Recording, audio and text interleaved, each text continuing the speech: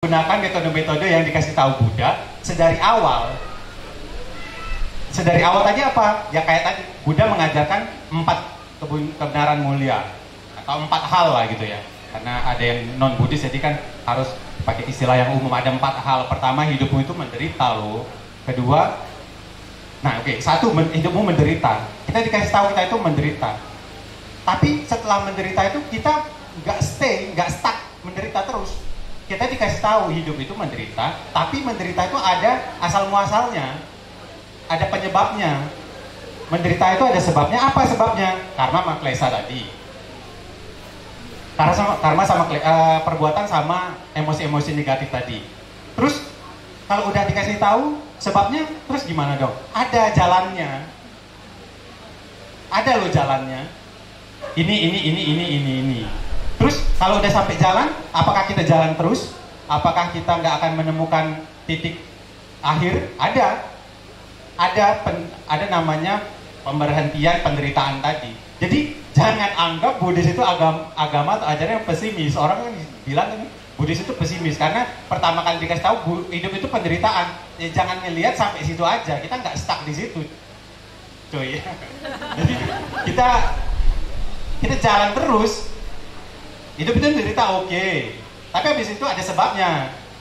Dikasih tahu sebabnya, ya udah kita cari jalannya. Dan cari jalannya kita bisa kok lepas dari itu gitu loh. Jadi ngelihatnya jangan sepotong-potong. Kita lihatnya harus harus ini full, holistik. Nah, um, bagaimana tantra mencapai tadi kan oke okay ya ada istilah dari nirwana kan kedamaian tertinggi yang tertinggi itu adalah kedama suatu kondisi tanpa kekotoran batin lagi. Gimana caranya? Kalau misalnya pakai tantra, akan akan akan ada metode-metode khusus yang sangat berbeda dengan metode-metode yang lain. Kalau metode-metode yang lain itu dia kayak kayak nabung kali ya, kayak nabung ya. Uh, orang Hinayana, Mahayana itu nabung. Nabung nabung karma baik. Karma baik itu dijadikan sebagai penyebab. Penyebab untuk bisa hmm, tarik tabungan berupa kebahagiaan. Tarik tabungan berupa pembebasan dari penderitaan. Tarik tabungan berupa nirwana. Jadi orang Hinayana, orang Mahayana itu kumpulin sebab, kumpulin sebab, kumpulin sebab terus sampai nanti ya itu tadi tiga jangka waktu atau tiga kalpa yang sangat tak terhitung tadi panjangnya. Tapi kalau di tantra dia dibalik. Tadi kan dia menggunakan mengumpulkan kebajikan sebagai sebab kan. Nah kalau tantra dia dibalik. Tantra itu menggunakan kebajikan-kebajikan tadi sebagai akibat. Jadi dibalik ya.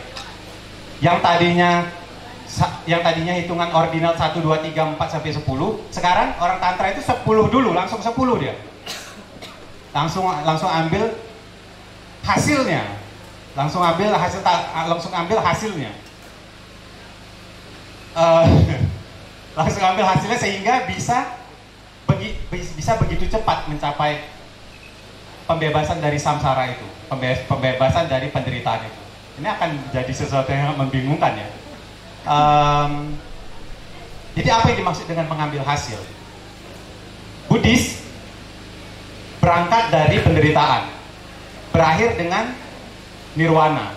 Berangkat dari keadaan menderita, berakhir di keadaan kebudaan. Itu Buddhis ya. Buddhis jadi Buddhis tujuan tertingginya adalah uh, ini macam-macam. Pokoknya kebudaan lah. Kita kita bilang kebudaan. Nirwana tadi adalah kebudaan dalam kendaraan yang kecil sama besar tadi, dia kan pendekatannya adalah kumpulin, kumpulin, kumpulin, kumpulin dari yang dia menderita, dia bersih, bersih, bersih, bersih, bersih melakukan tindakan-tindakan sampai dia jadi Buddha, bebas dari penderitaan. Kalau tantra dia langsung jadi Buddha.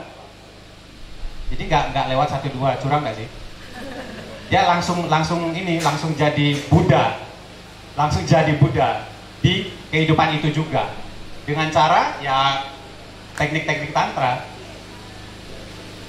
salah satu salah satu teknik tantra itu dia melihat batin itu nggak kotor, selalu bersih, selalu jernih. sehingga dengan dengan satu misal satu sudut pandang itu dia bisa sebenarnya oh aku punya loh potensi itu. Nah itu pot, potensi batin yang bersih itu. Sebenarnya batinku ya ada sih kekotorannya tapi bukan itu batinku. Batinku itu bukan sesuatu yang kotor itu batinku itu ya sesuatu yang bersih itu. Sesuatu yang bersih itu ya apa yang dimiliki oleh Buddha-Buddha juga. Makanya itu disebut potensi kebudayaan apa namanya? Uh, apa ya istilah Islam kalau ya oke. Okay. ada istilah dalam Sanskerta itu namanya Tathagata Garba namanya uh, rahim kebudayaan atau misalnya bukan rahim Garba itu nggak hanya rahim. Garba itu juga artinya inti sari inti, kebudayaan atau sifat-sifat kebudayaan jadi kita semua makhluk manusia kayak hantu kayak uh, bekicot kayak atau apa itu pu punya batin kan? Nah batin batin sifat alami batin semua makhluk itu adalah itu tadi. Nggak kotor jernih dia. Oleh karena itu karena punya sifat yang sama dengan Buddha makanya itu bisa dibawa dalam praktik dia. Makanya dalam tadi kan disebut di awal tantra itu salah satu pengertiannya adalah kontinuitas kan? Kontinuitas itu sesuatu yang berlanjut kan? Apa yang berlanjut? Ya si batin tadi. Batin yang jernih tadi itu selalu berlanjut. Nggak ada putusnya. Sampai kita sampai ke kebudayaan tadi. Sampai ke uh, apa tujuan akhir kita. Nah itu uh, kalau misalnya kita mau bagaimana cara cara cara tantra untuk mencapai itu ya cara wajrayana untuk mencapai kebahagiaan tertinggi ya itu pakai teknik tantra. Tetapi kalau mau mencapai kedamaian ya nggak usah harus tantra nggak harus tantra. Tapi bisa pakai yang lain. Dengan cara misalnya ya satu ya. Kita balik tadi ke, ke awal kan. Buddha ngasih tahu kita kita itu menderita. Oke menderita. Untuk mengatasi penderitaan ini harus ada penawar. Tapi kan kita harus tahu dulu sakit kita itu apa aja baru bisa ditulisin resepnya kan. Ya kita harus kenal diri kita itu uh, punya sifat jelek apa aja yang bisa mengganggu kita. Klesa-klesa tadi atau emosi-emosi negatif itu kita harus kenal dulu. Marahan lah iri hati lah terus misalnya uh, apa keserakahan lah. Nah itu sifat-sifat buruk tadi yang selalu mengganggu kedamaian diri kita. Kita harus kenal. Setelah kita kenal kita cari penawarnya. Gitu caranya jadi nggak harus ke tantra tetapi kita bisa kok mencapai kedamaian diri tadi lewat cara-cara yang lebih mudah, ya, ya, yang lebih dasar gitu. Intinya adalah kenali diri sendiri, ya. kenali kenali batin kita sendiri. Setelah kita kenali batin kita, kita cari penawar yang tepat itu apa. Misal, kalau misalnya kita menemui suatu kemarahan, penawarnya itu adalah kesabaran. Itu satu. Ya itu yang lain banyak lagi. Kalau di kalau di apa dicacah di klasifikasikan satu-satu itu akan ada sangat banyak faktor-faktor jelek kita ketika sebelum bersih itu. Ya kurang lebih. itu ya. Semoga saya duduk di sini tuh merasakan bisa apa ya merasakan energi dari Bante Guna berusaha untuk menyederhanakan bahasa. Pengetahuan beliau sangat luas tentang mengenai tantra ini terus bagaimana beliau menjelaskan hopefully teman-teman di sini bisa menangkap ya. Jadi maksudnya saya jadi gemetar juga nih. Beliau begitu berusaha untuk untuk apa namanya menjelaskan. Itu topiknya sebenarnya sulit. Dan uh, saya sedikit promosi. Dari Bante sempat menyebutkan tentang empat kebenaran Arya di pameran kita di belakang. Itu benar-benar empat kebenaran Arya. Ada empat bilik mewakili empat aspek itu. Jadi monggo tadi teorinya sudah ada rosonya di belakang ya silakan di roso-roso di belakang ya nanti ada bilik ada apa tour ya ditanya-tanya ada bacaan dibaca Terus um, tadi kesimpulan nomor satu ya, ya, tadi tidak harus jawabannya ya. Cuma tantra dan kedamaiannya tidak harus. Terus ada dua kata kunci yang menarik yang saya ingin highlight. Satu adalah selesai pada diri sendiri. Kedamaian itu selesai ya kurang lebih ya, selesai sama diri sendiri. Mulai dari sana ya. Dan ini sebenarnya tren yang di medsos cukup uh, high ya. Covid selesai, eh, sejak Covid kan mental health nenek-nenek-nenek itu muncullah ada salah satu istilahnya adalah selesai pada diri sendiri. Nah ini punya makna yang tadi kurang lebih sempat digambarkan oleh batin Guna. Dan yang kedua, bahwa batin kita seyuknya adalah jernih ya batin ya. Dan ini ini adalah salah satu perenungan yang menarik buat kita kita ya termasuk saya yang suka insecure. Apa? Menghakimi diri sendiri. Salah sedikit gagal sedikit itu menyalahkan oh kayak dunia sudah runtuh hidup saya sudah tak berguna saya hidup sebagai manusia sudah tidak ada kualitasnya sama sekali. Padahal ketika disampaikan ada batin kita sebenarnya adalah journey. Jadi kita tinggal menghilangkan si sampah-sampah itu emosi-emosi negatif. So saya jadi duduk mendengarkan itu menjadi energize. Wah kok saya kayak lebih optimis lagi gitu ya. Maksudnya seperti itu. So uh, itu terima kasih banyak untuk penjelasan yang luar biasa. Waktu kita tidak banyak kita tinggal kurang lebih 9 menit lagi. Saya buka uh, apa pertanyaan terakhir untuk teman-teman. Silakan. Ada oke okay, semangat sekali sampai berdiri. Panitia silakan Sebutkan nama Mbak dengan asal. Halo, uh, nama saya Kiara. Tadi sebenarnya mau ke WC, tapi tiba-tiba kepingin tanya langsung. ya, Gimana tanya? Uh, saya mau tanya, apakah mungkin untuk supaya orang-orang awam bisa paham tantra itu dijelaskan dengan cara misal uh, hal apa dalam terminologi yang mungkin dipahami orang-orang seperti kita kan kebanyakan mungkin akademisi pahamnya kan ilmu-ilmu barat ya misal uh, apa dalam terminologi tantra gitu tapi pakai perspektifnya dari barat dulu untuk memahami tantra itu. Terima kasih. Uh, itulah yang saya coba lakukan hari ini. Karena saya tahu ini uh, apa namanya ngomongin tantra itu nggak sederhana memang. Tantra itu advance. Terus kalau anggap kita mau mau bisa ada ada perpustakaan 10 tingkat. Kita mau paham tingkat ke 10 itu kita harus satu dua gitu. Tapi ya kalau misalnya mau gampang ya sebenarnya ya oke okay, gini. Guru kami itu sering ngomong, gampangnya itu tantra itu kayak orang masak lah gitu ya. Masak itu ya misalnya kita kayak masak uh, capcay. Capcay berarti 10 sayur. 10 sayur nggak hanya sayur aja yang 10 tapi ada bahan-bahan bahan-bahan bahan yang lain. Bahan-bahan yang lain itu adalah pelajaran-pelajaran di dasarnya. Orang masak capcay supaya bisa dinikmati dia harus enak, harus bisa dimakan lah, harus bisa dimakan.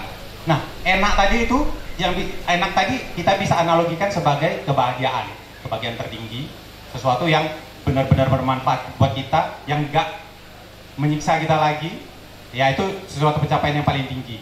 Untuk bisa membuat masakan yang enak itu, ya kita harus punya bahan-bahan yang pas bahan yang pas, punya skill masak, punya perangkat yang lengkap, panas apinya dipasin, nggak boleh terlalu uh, apa gosong, nggak boleh terlalu mentah, ya itu tantra itu anggaplah kayak masak lah gitu ya, oke, okay? simple, simple itu. Satu lagi, satu lagi. Kita, ini kan topik besarnya adalah kedamaian kan, kedamaian diri kan uh, banyak orang ya mungkin menganggap bahwa kedamaian itu adalah pencapaian tertinggi. Enggak, kedamaian itu dasar kita harusnya. Kalau kita nggak damai, kita nggak bisa ngapa-ngapain dalam hidup ini. Gimana kita bisa damai? Kita bisa komunikasi sama orang, komunikasi sama orang tua kita, komunikasi sama komunitas kita. Kalau kita nggak punya kedamaian, kalau misalnya kita nggak punya kedamaian, kita akan mentransmisi energi-energi negatif. Jadi ya kedamaian itu harusnya dimulai sejak dasar. Jadi jadi ini ya jadi apa jadi fondasinya. Sehingga kita bisa beraktivitas dengan baik. Kalau misalnya kita apa menjadikan kedamaian itu sebagai tingkatan tertinggi ujung-ujungnya kita ya rest in peace dong. Ya ya. Maksudnya ya rest in peace ya. Jadi ya uh, itu sudah ya okay. um, saya merasa duduk di sini tidak punya kapasitas untuk menyimpulkan apa yang telah dibahas. Karena Bante Gunawan sudah mengeluarkan seluruh energinya untuk menyederhanakan, dan saya tidak sanggup. Saya hanya bisa mengutip dua, mengutip dua. Yang satu adalah bahwa tantra itu adalah teknik memasak. Kita adalah safe. Dia ada kelas kayak cooking class ya, kayak cooking class. Kita ada safe, kita ada barang Terus um, apa tadi ya terkait dengan uh, apa yang kedua adalah kedamaian. Bahwa lihatlah kedaya barusan ya bahwa kedamaian adalah uh, uh, fondasi. Jadi ini saya mau relatekan dengan kondisi kita saat ini bahwa kita telah digempur oleh di era digital ini kita digempur dengan spot apa namanya ya pencapaian kecepatan apalagi kesuksesan yang notabene ini semua adalah materi Tadi kata Bante, kedamaian should be menjadi dasar, basic. Setiap orang harus punya tujuan untuk mencapai si kedamaian itu. Bukan materi. Ya kan? Banyak orang kaya yang stres. Ya kan? So, ini pesan moral yang sangat bagus ya menurut saya ya dan memang sesuai dengan tema dari NDBR secara gede itu tentang unconditional love sebenarnya adalah untuk uh, mengkampanyekan makna hidup self love terutama. Ya sebelum kita menolong orang lain berarti kan self love ya. Kita harus selesai sama diri kita kita cintai diri kita baru kita bisa bagikan. So uh, mungkin pesan yang menarik kedamaian adalah uh, basic dasar dari uh, tujuan hidup setiap orang. Ya so dengan kita selesai kita damai kita bisa berbagi energi itu kepada orang lain. Jadi tadi narik bareng-bareng.